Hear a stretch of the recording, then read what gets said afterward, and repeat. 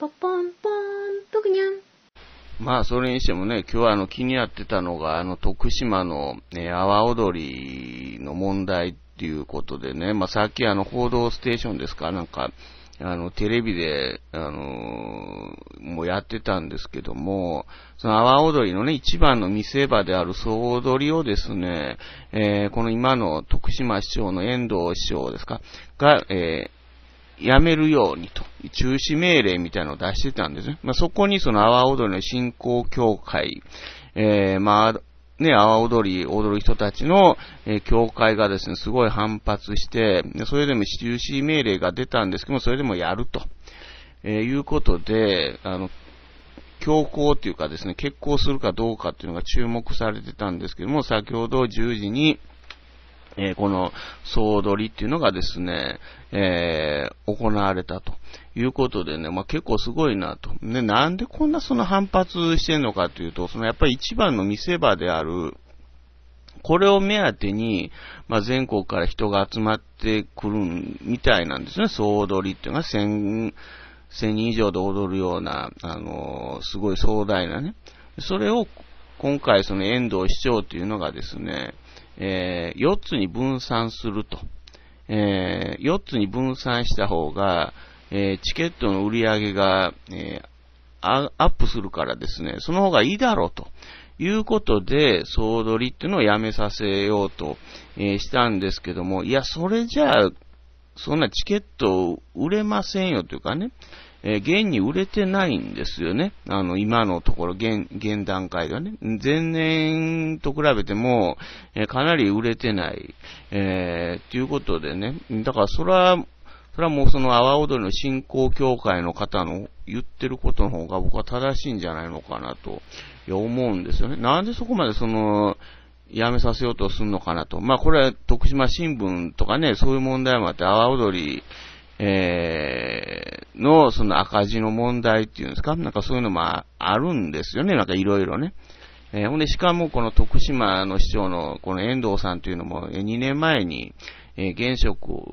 を破って、えー、あの、勝ちはったんですよね。これ、四国放送の元アナウンサーですか？人気のあった方みたいなんですけども、えー、これもその、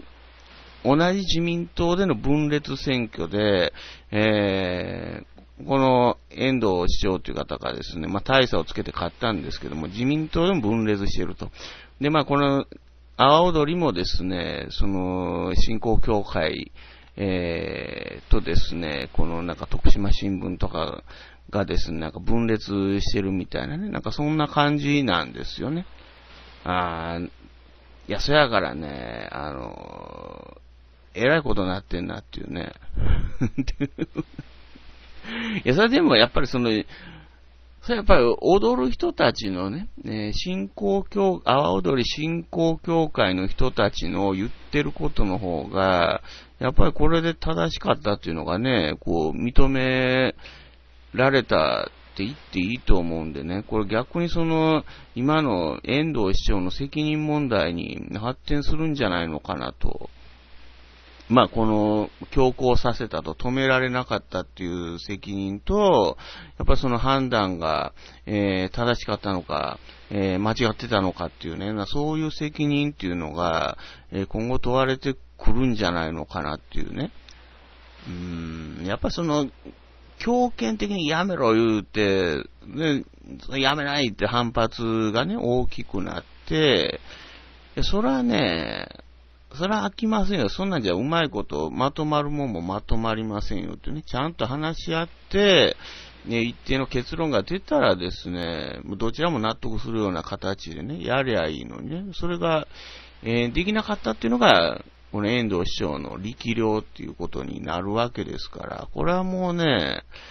やっぱり、あの、次の市長選にも影響するんじゃないのかなと。まあ、今まで人気のあったね、アナウンサーということで知名度も、えー、あったということなんですけども、まあ、この一件でですね、まあ、どうなんのかなと。えー、次の市長選は2020年なんですかね。えー、まあ、だからね、もうほんとなんかいろいろね、あるなと、えー、いうね、やっぱりこう、なんていうんですかね、こう上から、えー、こう押し付けてね、やめさせるとか、そんなこと言ってもやっぱこう、やっぱ反発っていうのはあるわ、あるわけですからね。やっぱみんなの、えー、意見を聞いてですね、うまい落としどころを見つけて、きちんとするっていうのが大切なんじゃないのかなというふうに、えー、思いましたけどね。うんチャンネル登録よろしくね。